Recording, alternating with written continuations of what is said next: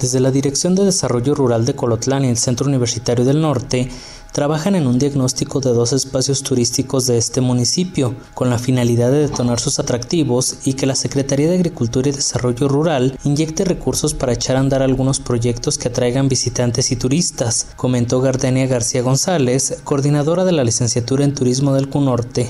Al momento nosotros hemos realizado dos visitas. A partir de ahí, de conocer eh, pues la situación actual de este lugar, nos fuimos a hacer propuestas sobre las mejoras que pueden desarrollarse aquí. De momento llevamos avanzado eh, trabajo con Parque San Nicolás, sin embargo otro destino que también se está considerando pues es la cascada de San Pedro.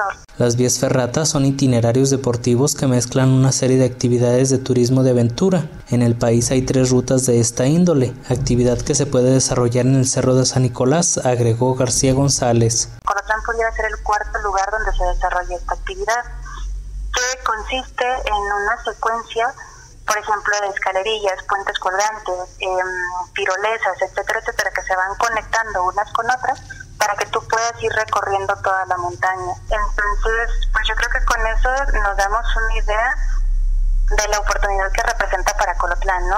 Abrirnos a todo el mercado del turismo de aventura y pues invitar a gente de todo el país y, ¿por qué no?, de todo el mundo Cabe mencionar que además de las autoridades, también se han involucrado estudiantes del CUNORTE. En unos días presentarán el diagnóstico y el proyecto al titular de la SADER para su aprobación.